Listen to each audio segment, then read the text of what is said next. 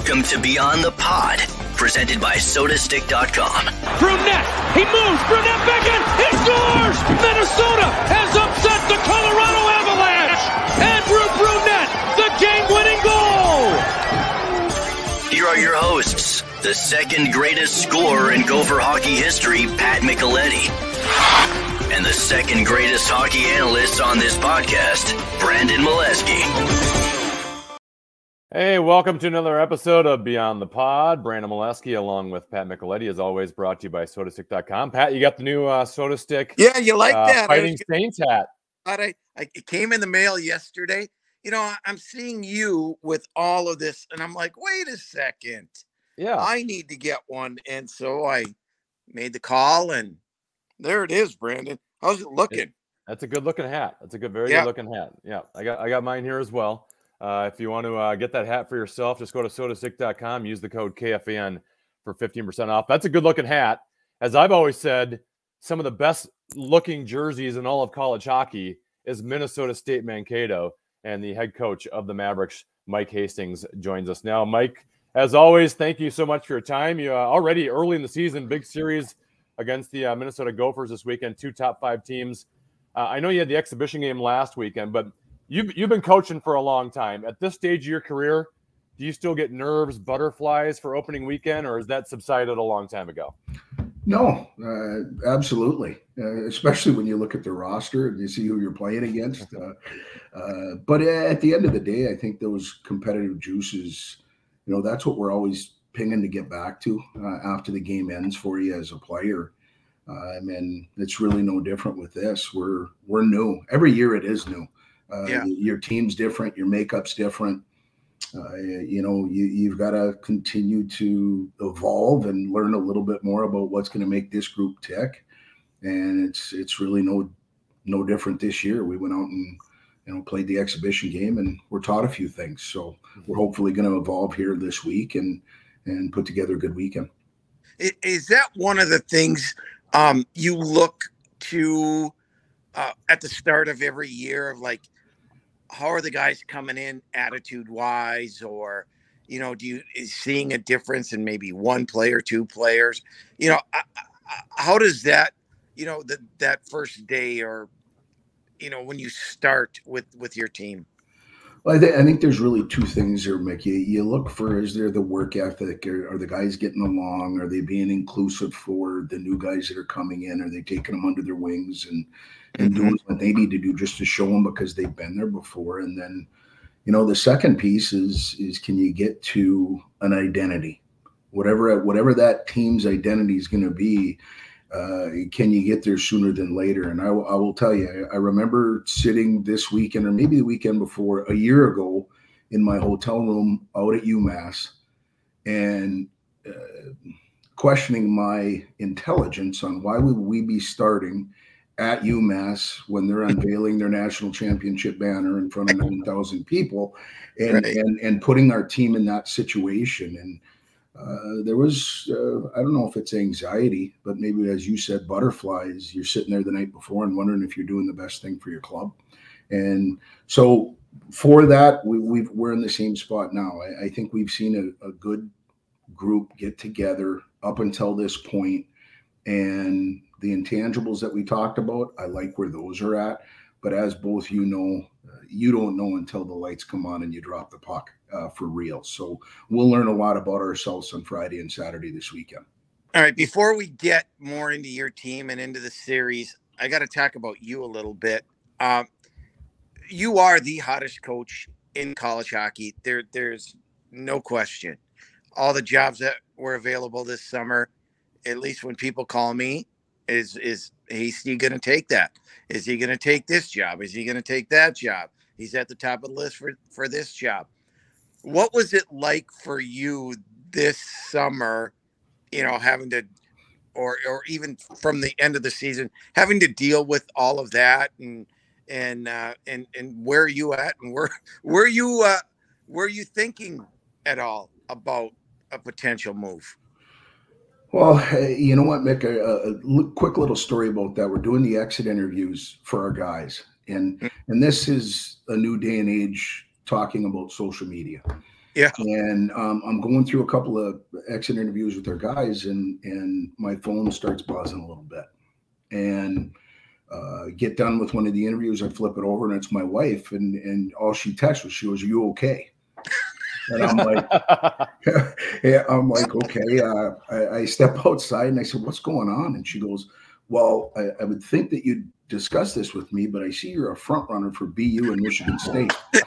um, and, and, and, and, that, that, that happened. Um, and yeah. subsequently, you know, as we're going through the exit interviews with the guys on what they're planning on doing, either staying, going, and a couple guys asked me that. And so in today's world, those things happen whether we want them to happen or not, um, whether it's positive or negative, or you stay in, or they're going to get rid mm-hmm. of you, uh, different things that way. And and so had some conversations with my wife, our family. Um, at, at the end of the day, Mick, I, am blessed to be where I'm at. Uh, yep. You guys, you guys understand it better than most. Pretty special state to be coaching college hockey in. Uh, yep. And the university's been unbelievable to me. Uh, I don't think you ever uh, get so closed-minded that you won't listen to other people. Right. Um, and and involve conversations with the people that you're working with at this time, but uh, who I'm surrounded by, the, the, support of the university, the community.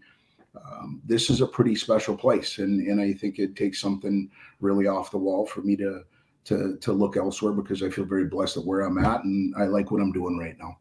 All right, you mentioned earlier you're talking about your uh, exhibition loss to Omaha last week, seven-two loss. You said that uh, you guys were taught some things. Um, what what did you learn from that? I know uh, giving up seven goals is not something that uh, we're accustomed to seeing over the last couple of years in Mankato hockey. So, uh, what what did you learn from that game? well, a couple things. First, though, I'll say it's not a good idea to have any of your guys in tennis shoes with sticks and pucks uh, before a game starts, so you start shorthanded. So that, that that that that's the first thing that went wrong that day. Uh, and you know what? I, I, I learned that this game, as you guys again know, it can humble you in a hurry if you don't bring your lunch pail and if you're not willing to compete in different areas that what we call great real estate in front of your net and in front of their net. Second thing is, is we went to the penalty box way too often. We took a five minute major that I thought turned the game completely. And if if we stay with that, that's a recipe against the group that we're going to be playing this weekend. Uh, that's that's going to have us on the short end. Um, and then you know what? For any team uh, at any time during the year, your horses need to run. Your best players need to be your best players, and you know, I, would be the first one to say, and and I think our group does a really good job at at self accountability. Uh, we we didn't play as well as we should as a cohesive unit, so I think we learned quite a bit. Um, and now we're going to see how much we've been able to move the needle during the week, so that we're a little bit better prepared for a team like Minnesota. Uh, well, we, we might as well talk about your goaltending. Uh, you, have got you've got two new one. Well, you've got a guy coming back, but uh, a, a, new one in. Um, is that a situation where, you know, you'll play both of them, see which one comes out on top later on in the year, or what's the plan for the goaltending? Right now, Mick, I'm I'm kind of going day to day. Um, yeah. Just because it's the only way I can transfer in my mind, you know, some confidence. Let them build their own body of work here throughout a week. Uh, all three guys got a period last weekend. Great. Yep. So now we've got a little book on that. Um, we've got a week after a game like that. And I think you're going to see an opportunity for not just one, but potentially all three here mm-hmm. in the first uh, month of the season, uh, depending how it goes. Even if somebody goes out and plays really well on a given night, uh, I think you've still got to provide opportunity. That's what players look for. They want an yep. opportunity to show themselves. And if you don't give that to them and they've done everything that they could do as far as work ethic, attitude, being a team guy, I think you've got to give them those opportunities. So that's what we'll be doing here early in the season. You got Minnesota this weekend. Uh, they they played last weekend and swept at Lindenwood, and you got you know two top five teams out. Obviously, you got history with them uh, over the last couple years in the NCAA tournament. Uh, what, what, are you expecting out of the Gophers this weekend?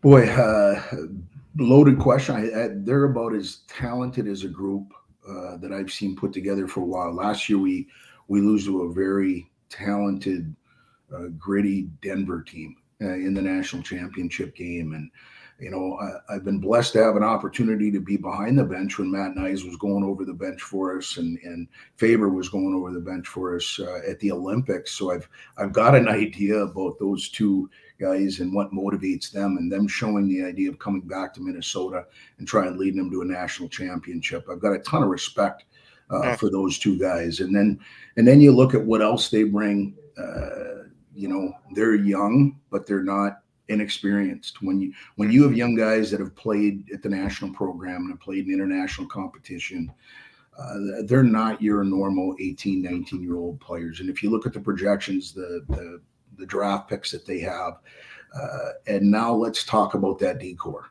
Um, Bobby's got to have a headache deciding what six or seven are going to play. Yeah, um, you know, and if he wants to shuffle a couple down south, uh, I mean, they're they're they're that talented. I've known Jackson Lacombe all the time uh, from him at Shattuck, and and you go through the group that they have right now. Uh, they can beat you in a lot of different ways. So, uh, one, we better stay out of the box. We better start on time and um, dictate what we get to dictate, not create their offense because uh, they're going to be good enough to do it on their own.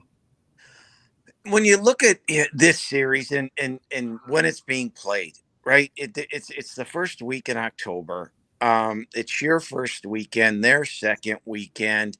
You know, obviously the fans are you know hyping this thing to be you know a great, but but should we temper things a little bit because hey, in in in all reality, your team is is going to be different in two months. Minnesota is definitely um, going to be a different team in in two to three months. So, how much of a relevance should we really put on this weekend? Uh, I think it's a great point, Mick, and and to to lend some facts to it. Uh, last year we go to UMass, we sweep them, yeah, in, in their building, so they get two losses at home and who's Minnesota end up having to come from behind to beat last year in the NCAA tournament.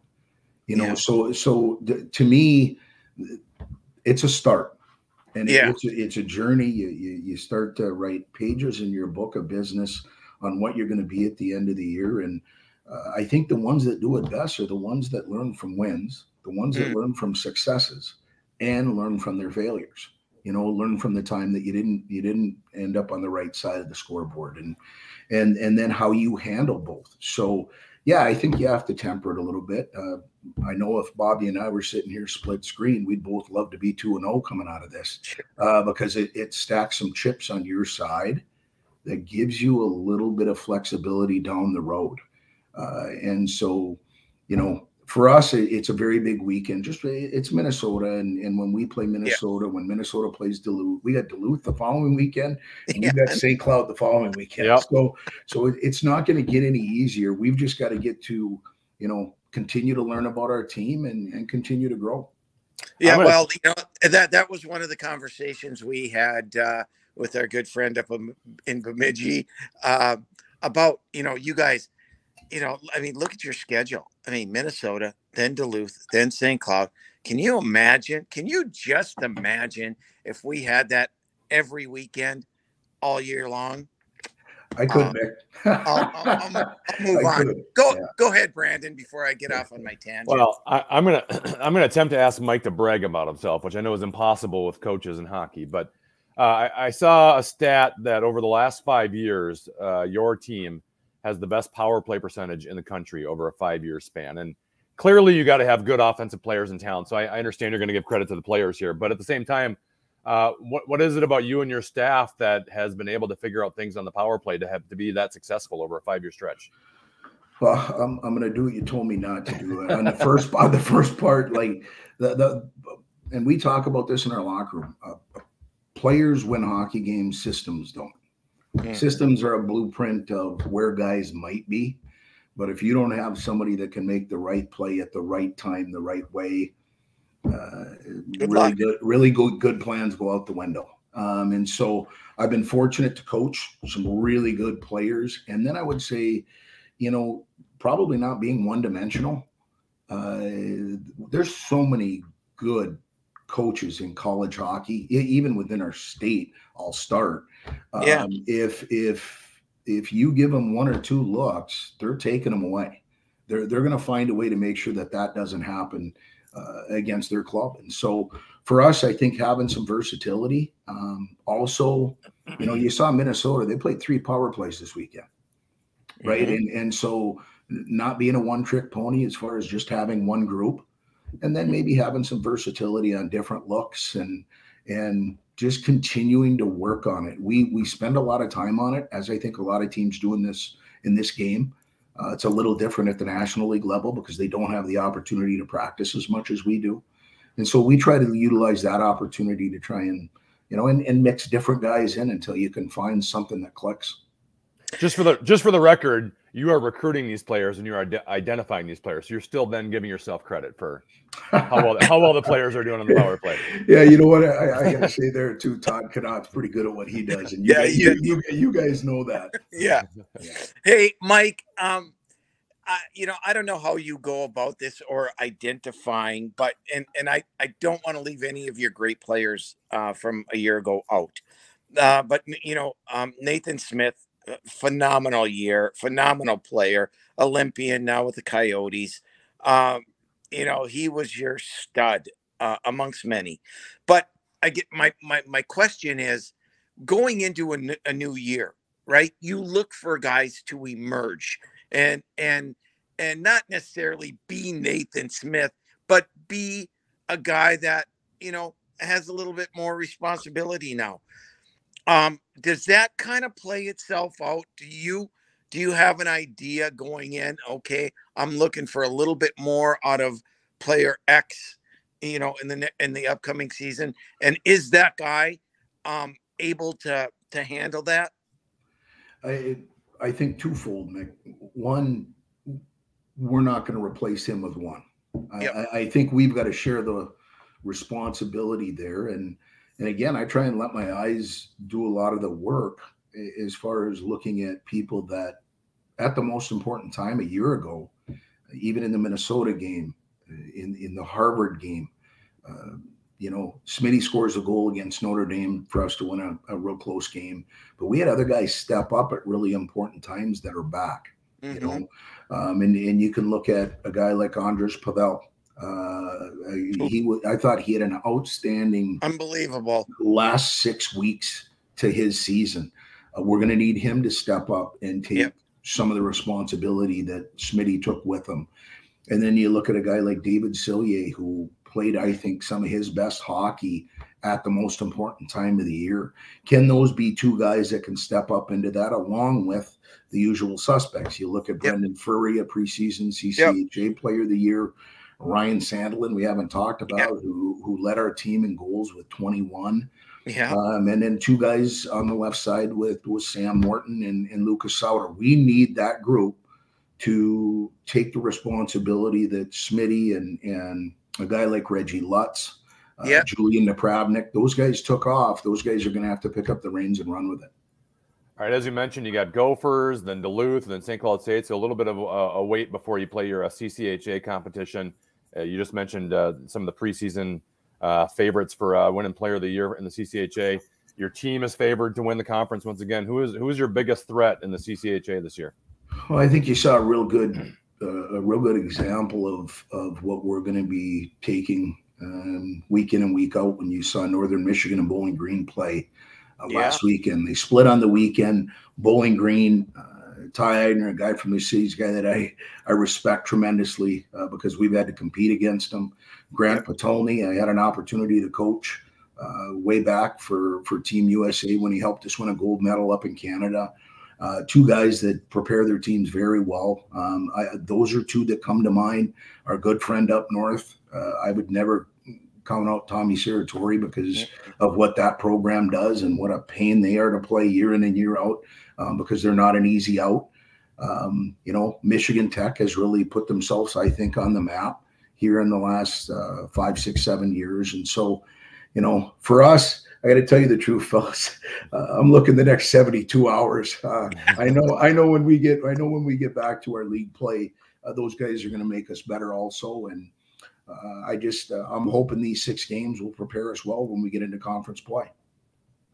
Uh, Mike, as always, we appreciate your time. Good luck this weekend, and uh, good luck the rest of the way. We'll talk to you down the line. Thanks a lot, fellas. Really Yep. good to see both of you. I appreciate you having me on. Yes. You bet. See you Friday. All right. Mike Hastings, head coach of Minnesota State Mankato. The Mavericks take on the Gophers home and home series uh, this weekend. They're at Minnesota on Friday night and then down in Mankato on Saturday night. Pat, before I chat with you, let's talk about uh, the logo that's on your hat right now, sodastick.com. Uh, they are a sponsor. They're original Minnesota sports inspired goods. If you haven't seen it yet, you got to check it out. All their apparel screen printed here in Minnesota on super soft, super comfy shirts. You'll love it. We're going to hook you up with 15% off your next order. So use the code KFAN for 15% off. That is sodastick.com. Original Minnesota sports inspired goods. Use the code KFAN for 15% off.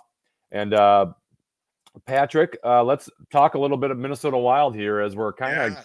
Closing off the preseason, a week away uh, from regular season action against the New York, New York Rangers. Uh, has anything stuck out to you so far in this training camp or preseason for the Wild? Well, I you know a, a- little bit. I I don't know much about how do you pronounce it, Petan. Yep. Uh, I I don't know a lot about him. Uh, I- kind of a surprise to me. Um, he looks like he's going to make the team. Um, one that there were two guys that I thought had a real good chance to make the team to start the season due to injuries, and one was Mason Shaw, and the other was Mitchell Chaffee. They ended up sending Chaffee down. Mason Shaw still hanging around. And he's one of those guys where you're like, man, how can we send him down? You know, he's not going to be in your top six. He, but, but, you know, he's responsible. He's worked hard. He's persevered.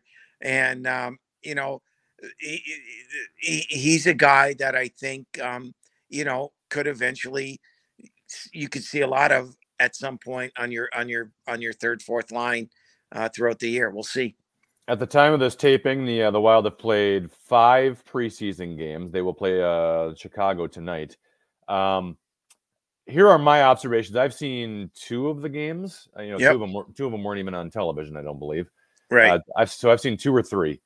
Uh, one observation, and Pat, I always preface this by saying it's preseason. They're not playing at the same speed. They're not playing at the same intensity.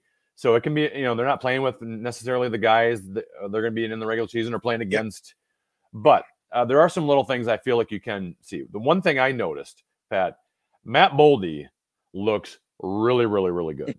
You know, the the the knock on Matt Boldy has always been his foot speed. Can he be a good enough skater at the National Hockey League level? Uh, and I thought his skating was good enough last year, Pat. I think his skating is good now. I, I don't even think it's um, a, a question or a flaw in his game. He was flying the other night when I saw him. Um, uh, he can move, he can skate. He looks even thicker. You know, you- we got to remember he's still only 21 years old. He's kind of growing into that man body.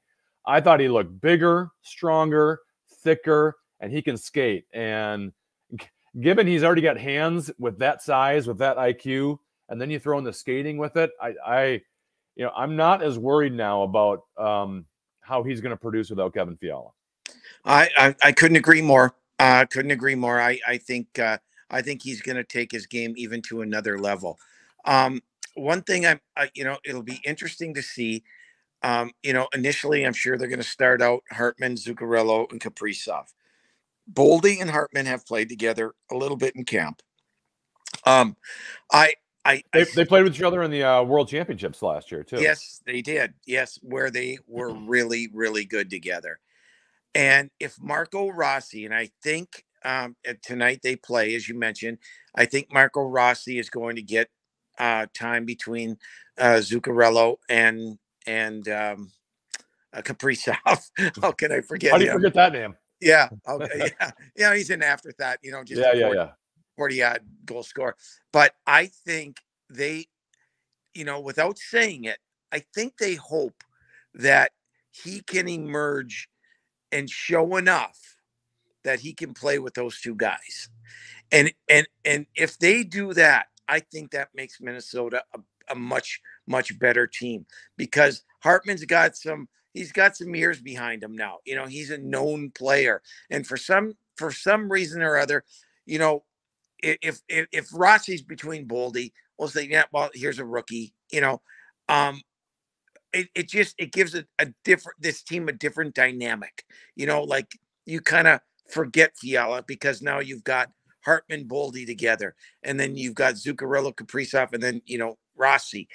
So I, I think they're hoping that yeah, you know what, maybe we should take a look at this uh, because you know the Ek line is going to be the Ek line, and and then all of a sudden, I personally I would feel a lot better about this team, um, knowing that. And but you know we'll we'll have to see how it shakes out. Long Well, year.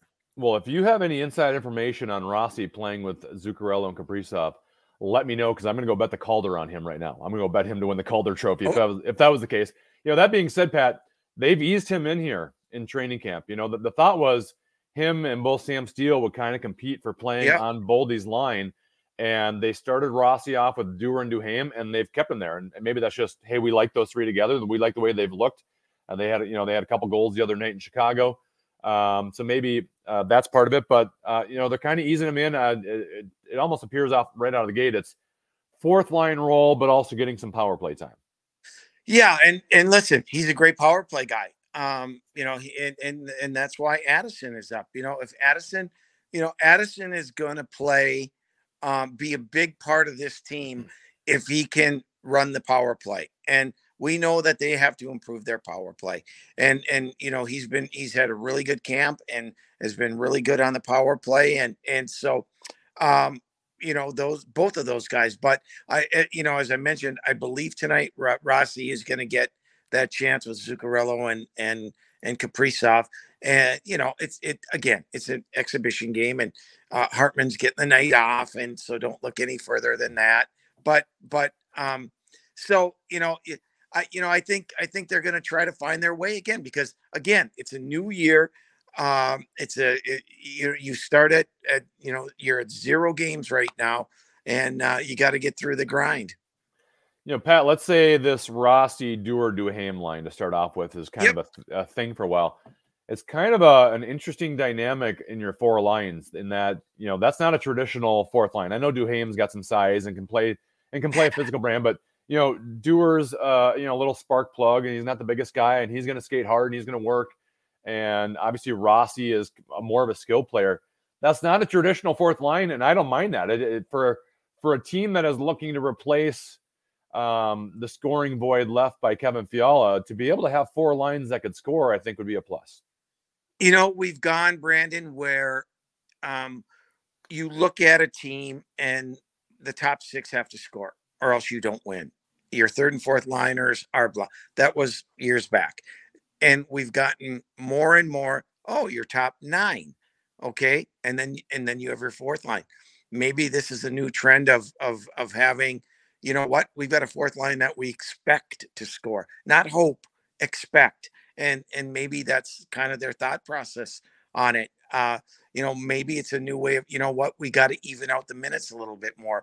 Because in reality when you look at teams um and you look at you know you and i er, uh, you know doing fan line uh the nights that we do them we you know you you print out those uh those game sheets and and we both look at minutes minutes played. And you know you can see your top guys getting the more minutes. Why? Well, you know, power play, penalty kill.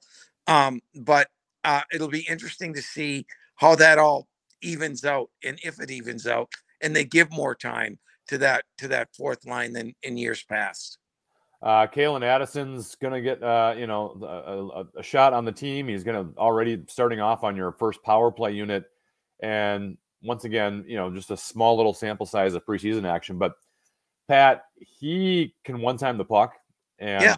that has been missing from this team basically in the existence of the franchise. And uh, even just having the threat of a one timer, I think improves your power play. You know, the key for him is going to be you've got Kaprizov over here, and you got Boldy over here, and you got Zuccarello. And I don't want him to get to the point where he's deferring. You know, a lot of times with the young defenseman, uh, you know, thinking I got to feed Kaprizov, I got to, I got to get the puck in his hands. And to a certain extent, yes, you got to get the puck to your best playmaker. But I want him to shoot the puck from back there, and he needs to be a threat to shoot. You you don't know, Brandon, how how how big of a difference it will make, how better those two guys that you mentioned, Zuccarello, Kaprizov, will be because it's going to open things up. And all of a sudden, if teams know this guy's not afraid to shoot the puck, they're going to defend differently. right? And if they're defending differently, that means they're not all on Kaprizov and you know know that he's going to get the puck.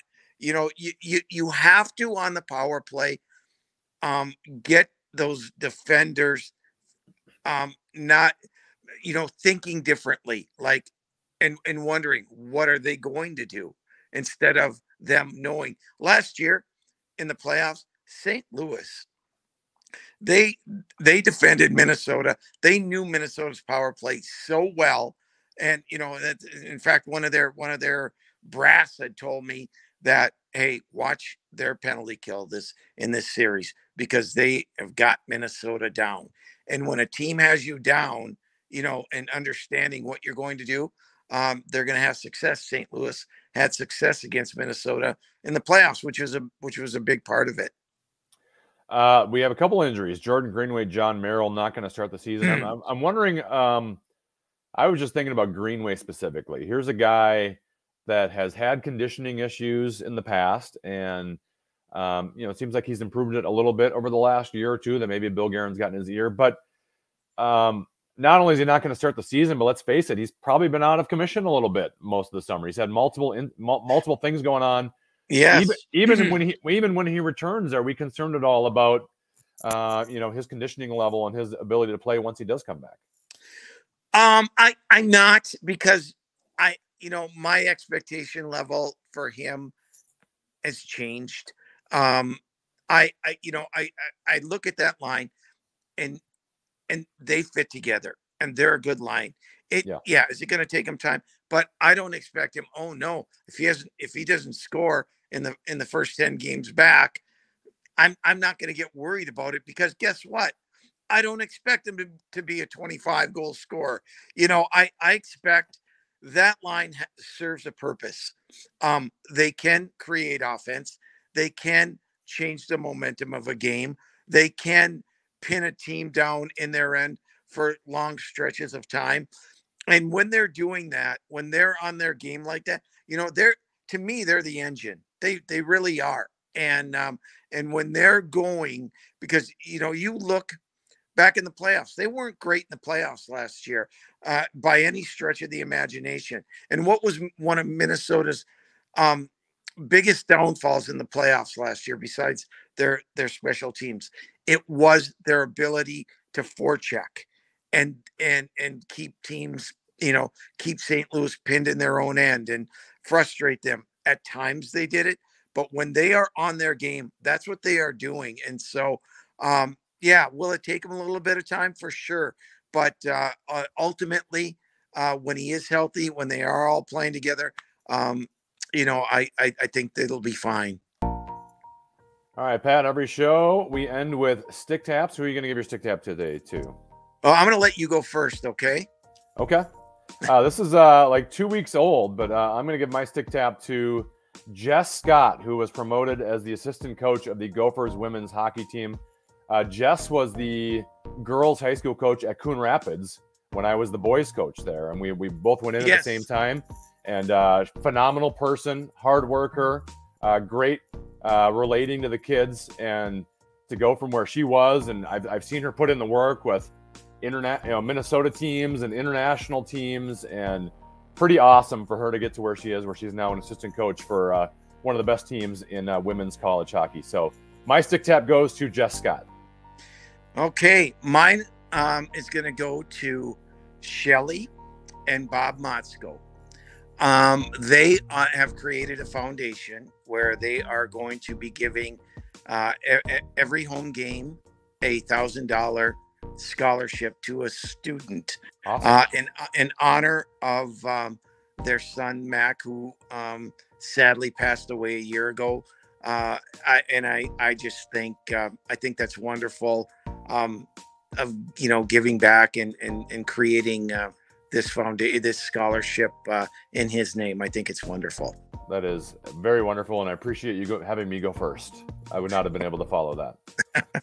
Uh, thank you, Pat. We appreciate it. We'll talk to you next week. Sounds great, Brandon. Take care. All right. He's Pat Micheletti. I'm Brandon Mileski. This has been another episode of Beyond the Pod. As always, it's brought to you by sodastick.com. You can watch us on the KFAN YouTube channel or listen to us on the iHeartRadio app or wherever you get your podcasts. We'll talk to you next week right here on Beyond the Pod. Bye.